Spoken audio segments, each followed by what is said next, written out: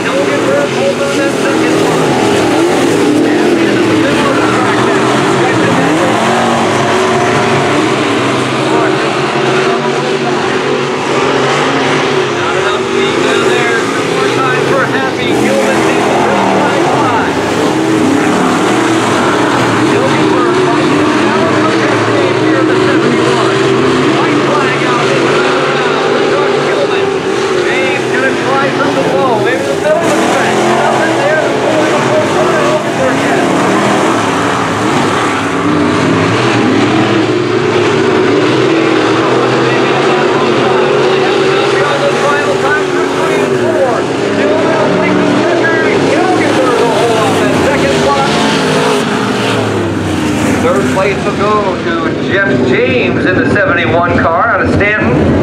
Second place to the four car to Joaquin, Tony Hilgenberg.